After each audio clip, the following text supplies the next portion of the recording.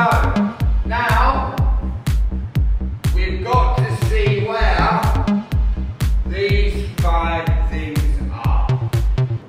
So the five things are gold, gold,